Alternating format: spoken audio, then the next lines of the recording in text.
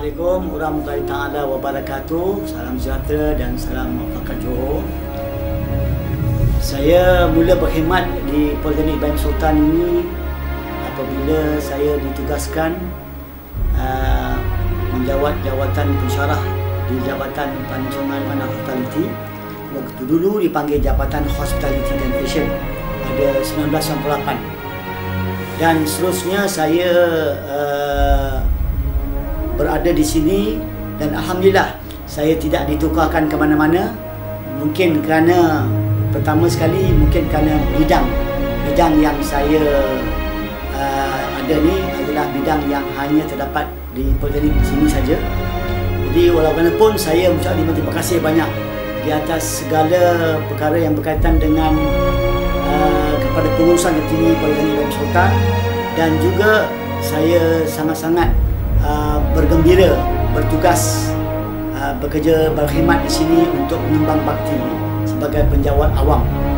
Dan alhamdulillah lah setakat daripada 1998 sehinggalah pada saat ini dan insyaallah saya akan akhirkan tugas saya sebagai penjawat awam pada 31 Disember ini dengan hati yang gembira dan uh, terbuka.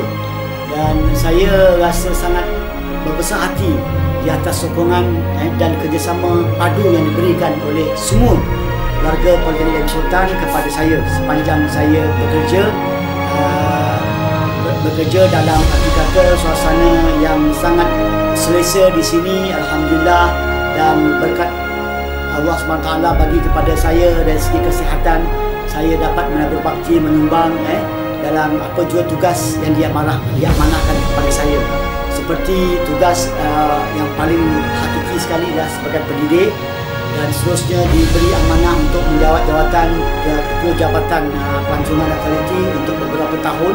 Dan seterusnya juga diberi peluang untuk uh, diberi peluang untuk menjawat jawatan pengerusi Masjid Politeknik Ibrahim Sultan selama lebih kurang dalam 4 tahun. Dan seterusnya juga saya diberi peluang untuk uh, memberi uh, menjawat jawatan pengurusi Korporasi Politeknik Ibrahim Sultan untuk beberapa tahun. Sebelum itu saya menjadi uh, ahli lembaga pengarah lebih kurang dalam 14 tahun. Dan juga saya diberi juga kepercayaan untuk bersama-sama dengan uh, ahli-ahli uh, penduduk ataupun uh, warga staf uh, di kuartus kerajaan ni sebagai pengurusi dan kuasa. Dan ini semua menunjukkan satu keamanah dan tanggungjawab yang besar yang saya perlu pikul walaupun saya menghadapi uh, tugas hakiki yang sangat mencabar. Dan saya juga memaaflah jika apa juga perkara yang berkaitan dengan kesilapan saya dan juga apa yang saya lakukan selama ini boleh memberi uh, kata orang uh, ketidakselesaan kepada mana-mana individu eh uh, lambat ke ataupun uh, mungkin kurang ke dari segi uh, produktivitinya maka saya mohon maaf kerana bagi saya ah, kita tidak boleh bekerja seorang diri. Kita kena bekerja bersama-sama. Untuk memajukan sebuah organisasi yang paling penting ialah kerjasama padu antara kita ni dengan ah, dengan ambil semangat Johor ni dipanggil muafakat. Jadi muafakat ini penting untuk kita mengurak langkah dan ke arah memajukan lagi kita punya Politeknik dan Sultan yang disayangi.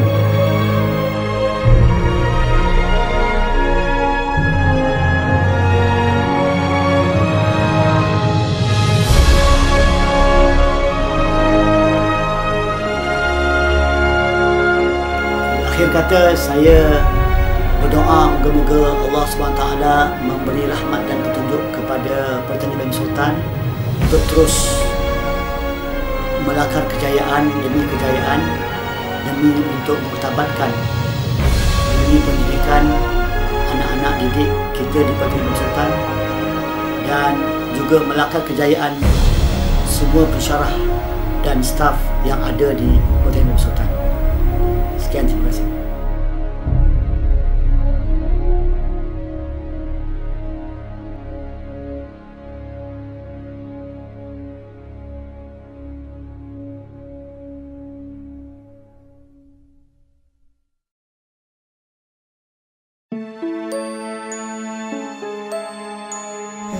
Okey, Tuan Sai, berikut adalah sebuah puisi daripada Dr. Ghazali Latif saya tuju khas kepada Tuan Said. Selamat berangkat dalam doa berkat. Selamat beristirahat dari segala muslihat. Selamat bersara dengan senyuman mesra. Senyumlah seindah suria.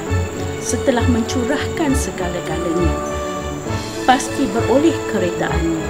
Bak air yang mengalir sampai di sini kenangan indah pasti terukir.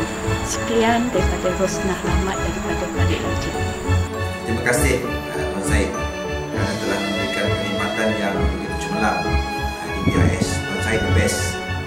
Dan saya ucapkan selamat bersara kepada Tuan Said. Semua orang akan bersara dan cukup masa semua orang akan mengingatkan perkhidmatan. Selamat maju jaya Tuan Said. Uh, di kesempatan ini, ini saya ingin mengucapkan selamat maju jaya kepada Tuan Syed Syekh Kadir di atas uh, persaraan beliau yang akan berlaku dalam masa beberapa hari lagi. Itu je, cukup lah.